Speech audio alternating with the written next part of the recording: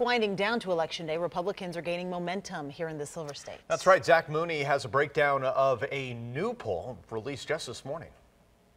We are certainly earning our title of a battleground state. Now take a look at the results from a CNN ORC poll taken just two weeks apart with Nevada voters. Now as you can see, in mid-October, Hillary Clinton held a two-point lead over Donald Trump. But now check out the numbers released just today. Donald Trump now has a six-point lead over Hillary Clinton, 49% to 46. Meanwhile, 5% say they would vote for Gary Johnson, and 2% will vote for none of these. Meanwhile, just 1% is still undecided.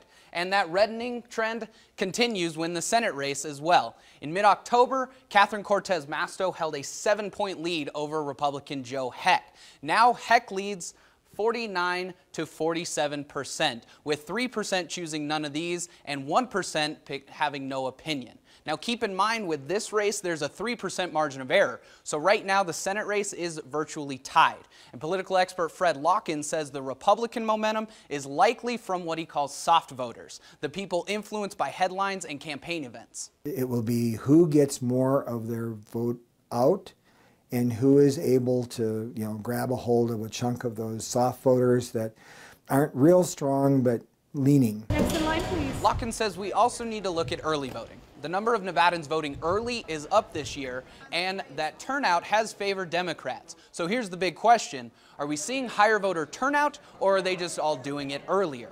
Lokken says for Nevada to turn red, that would need to be higher turnout. The surge that the Republicans may experience at the end would have to be significant to overcome what is a registration advantage, which means that there are currently more Democrats than Republicans showing up.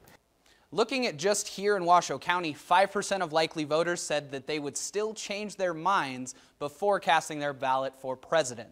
Covering campaign 2016, Zach Mooney, Channel 2 News. And, please stay with Channel 2 News and CBS News for continuing coverage of campaign 2016. There it is. Now through election night.